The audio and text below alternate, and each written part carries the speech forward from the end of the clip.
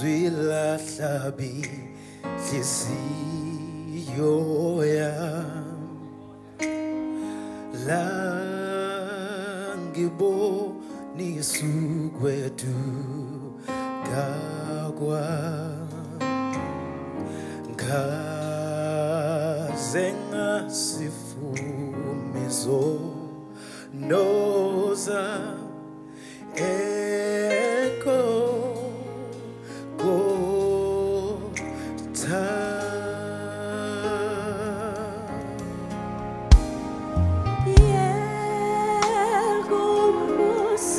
come.